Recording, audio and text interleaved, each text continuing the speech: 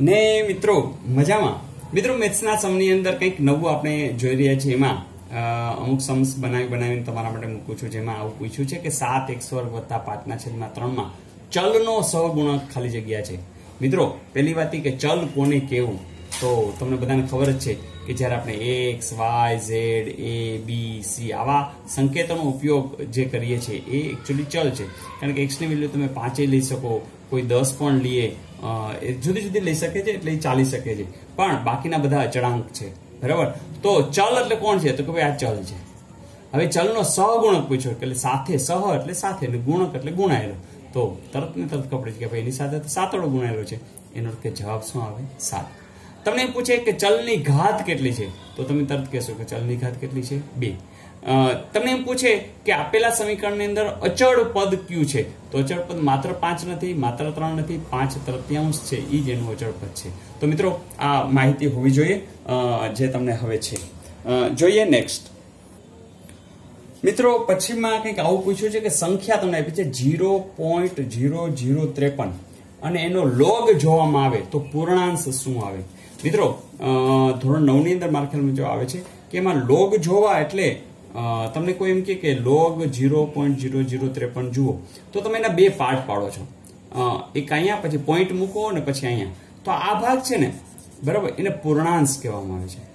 અને કોષ્ટકમાં જોઈ અને તમે કંઈક ગોતો છો, તો એ શું હોય છે? અપૂર્ણાંશ હોય છે. તો મિત્રો, આ બે વસ્તુ તમને ખબર છે. અને પૂર્ણાંશ મેળવવા માટે સાવ સહેલું તમને મેં અગાઉ વાત કરી હતી એમ મેં આ ચેપ્ટર મૂકેલા છે પ્લેલિસ્ટમાં જોજો. કે અહીંના જે ઝીરો છે ને એ બધા જોઈ લ્યો. તો કે એક, બે ને ત્રણ. ફરીથી લખવાની ઝીરો પોઈન્ટ એવી રીતે સંખ્યાઓ. તો એક, બે ને ત્રણ ઝીરો છે. એટલે કે એ ઝીરોને આધારે જ, પણ એ કેવા? તો માઇનસ એટલે કે ત્રણ બાર. અથવા તો આ રીતે માઇનસ ત્રણ. તો જવાબ છે રેડી છે.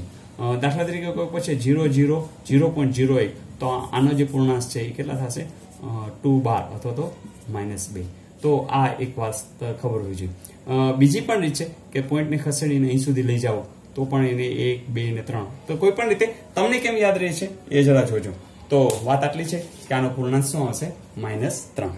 ઇઝ ઇટ ઓકે જોઈએ નેક્સ્ટ મિત્રો, અહીંયા તમને ત્રિકોણમિતિ આધારિત એક પૂછ્યું છે જે તમને સ્ટાફ સિલેક્શન રેલવેમાં પૂછી શકે કે કોટ થીટા બરાબર એકના છેદમાં વર્ગમૂળ ત્રણ હોય તો કોસેક થીટા બરાબર શું?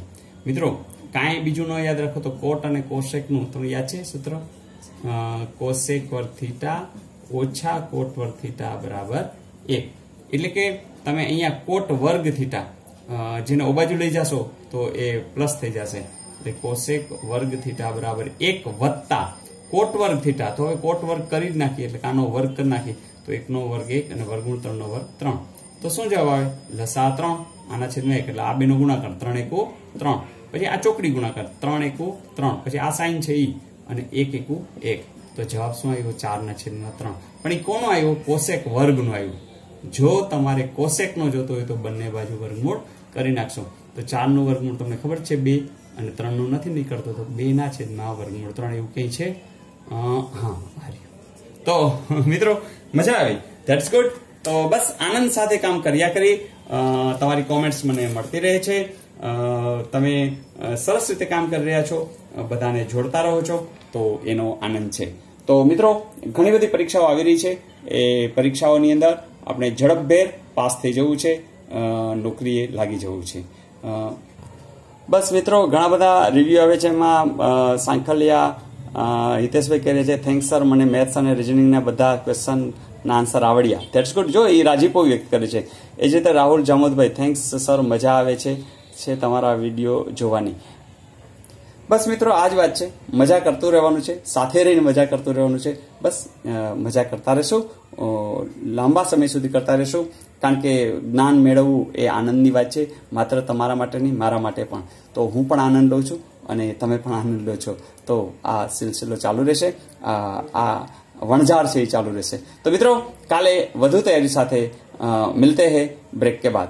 All the best